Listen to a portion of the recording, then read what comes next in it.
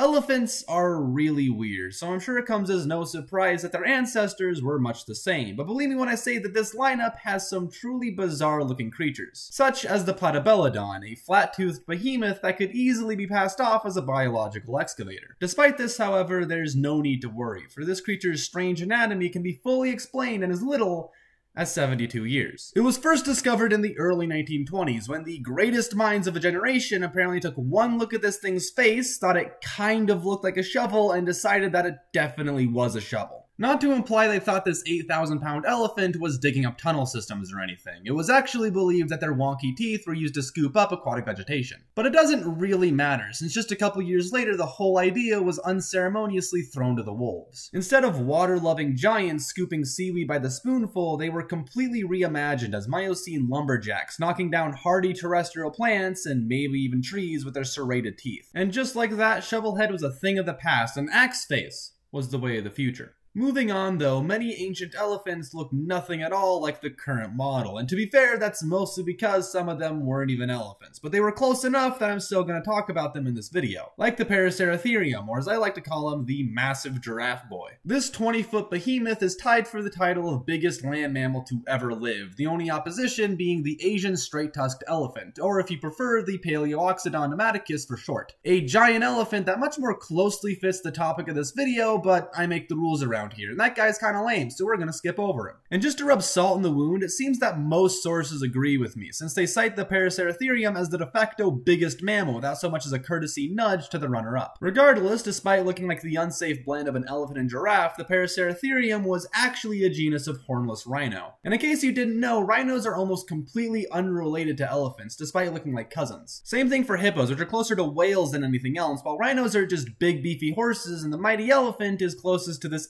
itty bitty rat boy called the Hyrax. And while that might be surprising today, in a world where elephants are famous for their substantial proportions, there have historically been more pint-sized pachyderms than you could shake a bag of peanuts at. One such creature was the pygmy mammoth, a five-foot king found off the coast of California and close relative to the Columbian mammoth, a creature whose name baffles and confuses me for it lived nowhere near Colombia. But what I really want to talk about are the dwarf elephants of Indonesia, specifically the islands of Flores, where tiny elephants were hunted by massive lizards and itty-bitty humans, who were themselves hunted by colossal storks and mildly annoyed by giant rats. One thing I'm sure you've already noticed about this motley crew is that every single one of them is exactly the wrong size. And yeah, you're absolutely right. In short, there are a myriad number of ways an island's limited space can affect its occupants, leaving you not only with ankle-biting elephants, but storks tall enough to play professional basketball. Of course, there are plenty more elephants that are well worth a mention, but not much else, like the Barytherium, which is one of the earliest elephant ancestors that could still almost be identified as an elephant, taking the form of what could pretty accurately be described as just a really big tapir. Its name means heavy beast, and while it is technically accurate, I feel there are plenty of other animals that such a name would better describe. Like, I don't know, that giant giraffe guy maybe? Remember him, the largest land mammal ever, standing well over 40,000 pounds? But yeah, you're right, this massive slab of pork chop does look pretty hefty. There's also the Stegotetrabelodon, a four-tusked freak with teeth so long it probably could have used them as stilts. But beyond looking kinda silly, I don't have much to say about it, and in a similar vein, there are a few dozen others that are basically just regular modern elephants